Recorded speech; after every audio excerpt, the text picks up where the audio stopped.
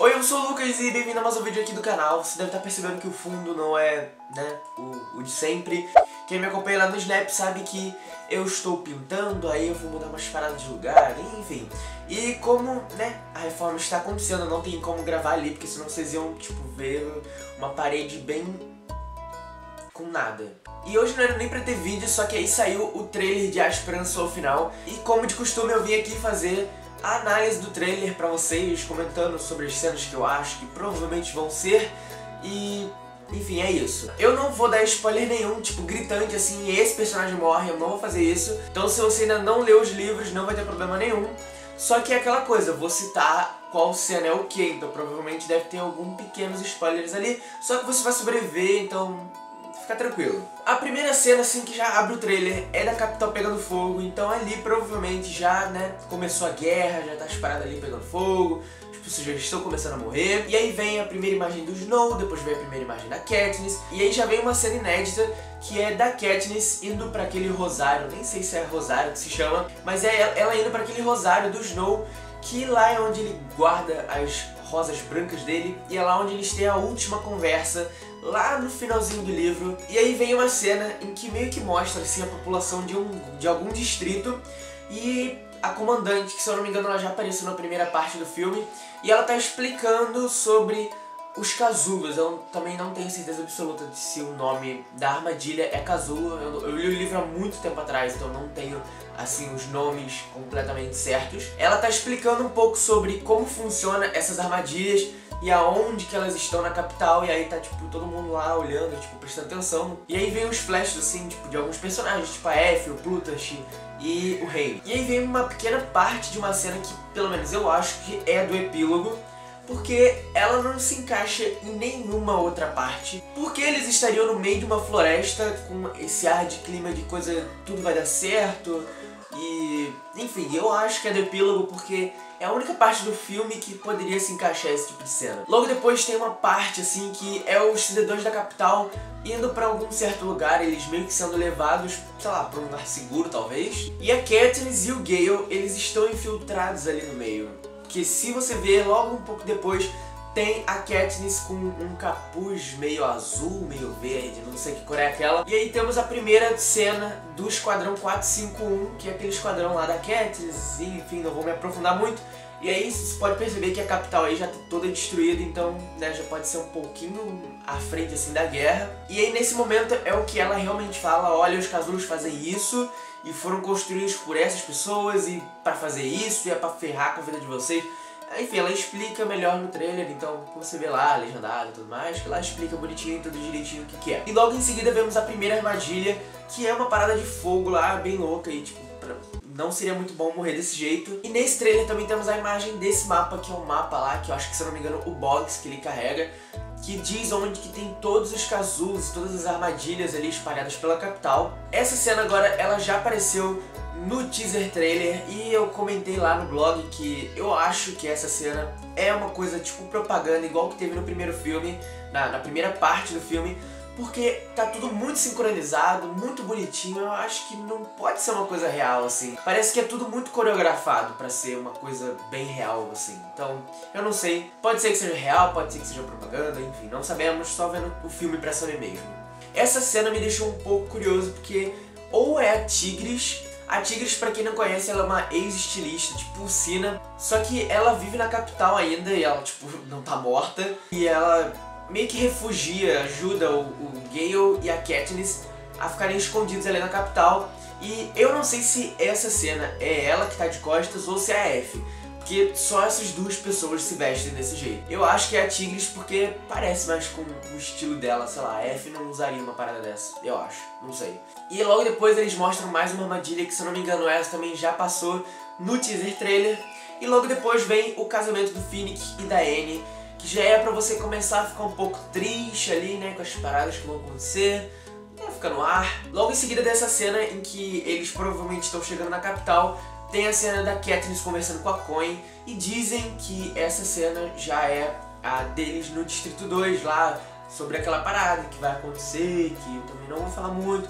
Essa cena já teve no teaser trailer, então é por isso que as pessoas falam que provavelmente é a do Distrito 2. E aí vem uma cena que não, não leva a nada a lugar nenhum, que é os soldados destruindo um prédio e logo depois a Katniss e o Box olhando para trás, tipo, enfim, isso não, não é relevante. E aí uma cena que também, tipo, não tem muita relevância, que é provavelmente os rebeldes fazendo o sinal lá dos três dedinhos e também não leva nada a lugar nenhum. Mas a cena que vem depois já leva a algum lugar ali, no caso, leva a sua morte, porque já começa ali as paradas da cena do esgoto.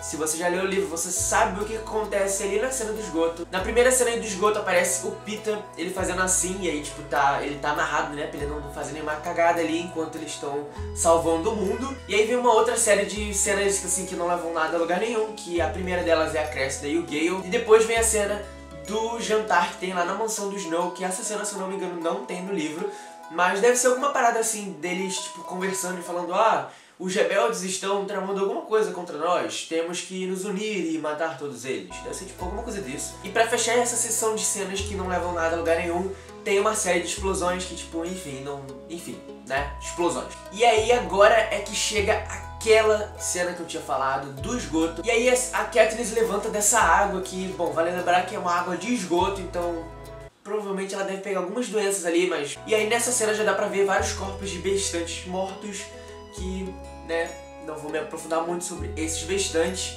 Logo depois vem o Finnick lutando contra os bestantes e eu não vou me aprofundar muito nessa cena. E aí o Pita abre a boca ali pra fazer alguma coisa até pra, pra ele ser útil, porque né, ele tá indo pra guerra, mas ele não pode pegar uma arma, porque vai que ele mata alguém, que né, ele tá meio maluco ali. Então a única coisa que ele pode fazer é falar. Ele vai lá e incentiva a galerinha, ah, vocês têm que matar todo mundo, não sei o quê. E aí logo depois deles provavelmente fugindo, e aí a Katniss explode alguma coisa lá dentro desse túnel, o Pollux quase cai porque um bestante tá tentando atacar ele, a Katniss chuta. Eu não sei se a Katniss chuta o mesmo bestante que tá atacando o Pollux, ou se é um outro, então, bom, vamos ter que ver o filme pra saber se ele sobrevive nisso aí. Depois vem essa cena que, pra mim, ela já é no final do filme, tipo, ela tem um ar assim de, ah, deu tudo certo, ah, que final feliz, todo mundo vivo, quase todo mundo vivo, enfim, eu acho que é no final do filme. E aí vem mais uma cena do casamento do Finnick e da Anne, que é pra lembrar, né, que você vai sofrer ali ao longo do filme, tipo, em vários momentos e tal. E aí vem mais uma armadilha, depois uma cena do Haymitch, algumas cenas assim aleatórias. E depois vai pra cena da Coin fazendo o discurso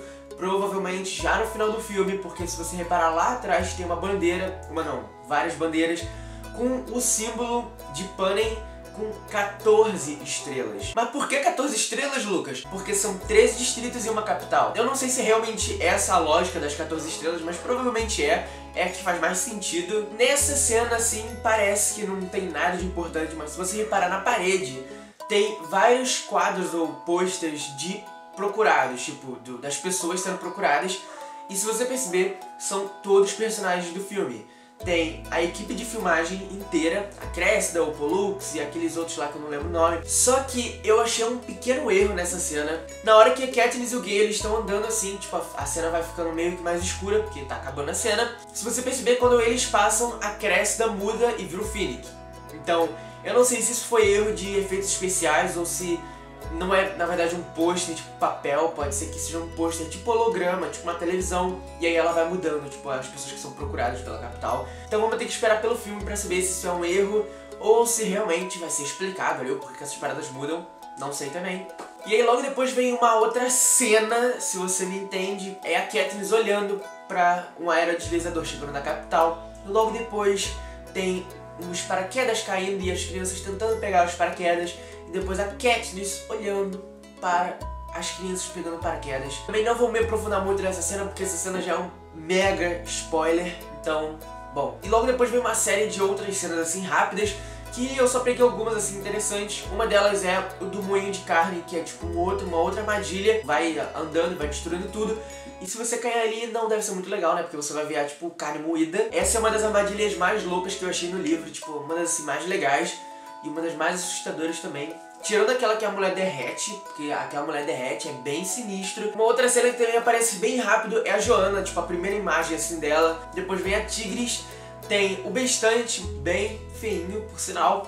Também tem a cena da Katniss e do Peter se beijando pra mostrar, né, que o filme vai ter amor e tudo mais, porque não basta só ter guerra, explosão, gente morta, tem que ter um pouco de amor ali. E o trailer fecha com a Katniss falando apontem suas armas para o Snow. E não sabemos de novo se essa cena é realmente a cena do final ou se é uma propaganda, porque se você perceber o pessoal do fundo dela é o mesmo daquela outra cena que eu tinha comentado, de que provavelmente é uma propaganda, porque tá todo mundo muito certinho, muito coreografado, então não sabemos se é realmente essa cena, se essa cena é a cena, mas essa foi a minha análise aqui do trailer. Se você gostou da análise, deixa um joinha aqui embaixo, isso vai me ajudar pra caramba. Comenta aqui embaixo, tipo, o que você mais espera do filme, qual é a cena que não pode faltar.